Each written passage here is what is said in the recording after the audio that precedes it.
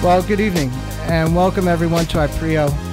And thank you for sharing this with us, this wonderful celebration of our amazing new office space here in Cape Town. What a pleasure and honor it is to have with us this evening such distinguished guests, and of course, guest of honor, our very own mayor of Cape Town, Patricia de Lille. We have our president, COO, Kevin Marcus, all the way in New York City at our corporate headquarters.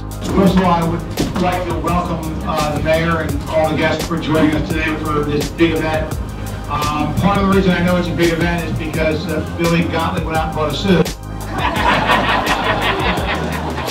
for IPREO, the most important thing for us, for our long-term growth, has always been about our uh, ability to recruit talent, retain talent, I've got a new suit as well, by the way.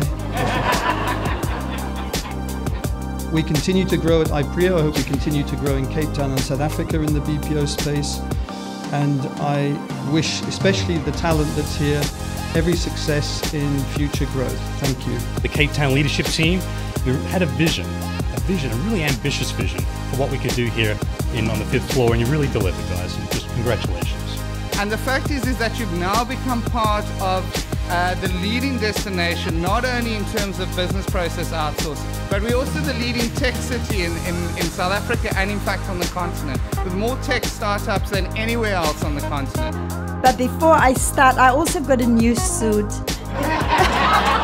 I'm really grateful that you're even going, IPREO is going to create even more jobs. Thank you for the confidence. And on behalf of the city of Cape Town, from the bottom of my heart, thank you so much and God bless all of you.